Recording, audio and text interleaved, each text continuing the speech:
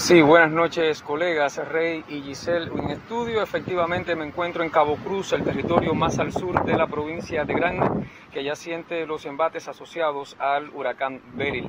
Rachas de hasta 80 kilómetros por hora se han registrado en la estación local y según los vecinos, desde horas bien tempranas de esta mañana se reportan marejadas como estas que usted está viendo en pantalla, que fueron grabadas alrededor de las 7 de la noche.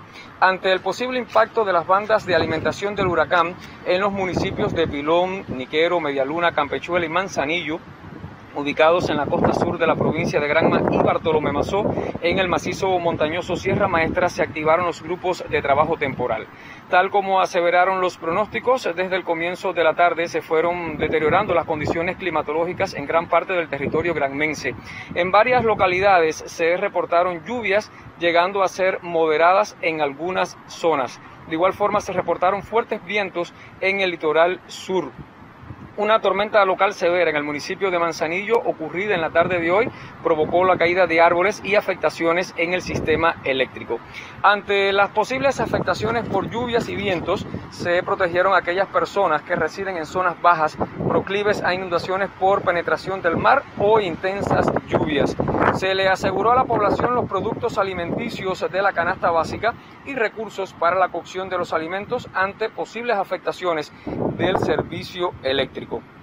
Asimismo, el sistema de salud dispuso en cada centro hospitalario los equipos de trabajo para mantener la vitalidad y asistencia de las personas aquejadas con algún tipo de enfermedad, en tanto embarazadas en término y pacientes nefróticos fueron trasladados temporalmente hasta el Hospital Clínico Quirúrgico Docente Celia Sánchez Manduley de la ciudad de Manzanillo para su atención.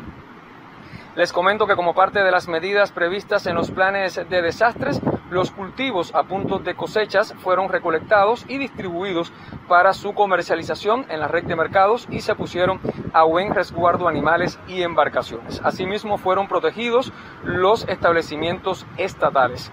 Nosotros seguiremos informando sobre todo lo que acontece en la provincia de Granma a propósito del paso por el sur del territorio del poderoso huracán soy Jorge Luis Ríos, Canal Cubano de Noticias.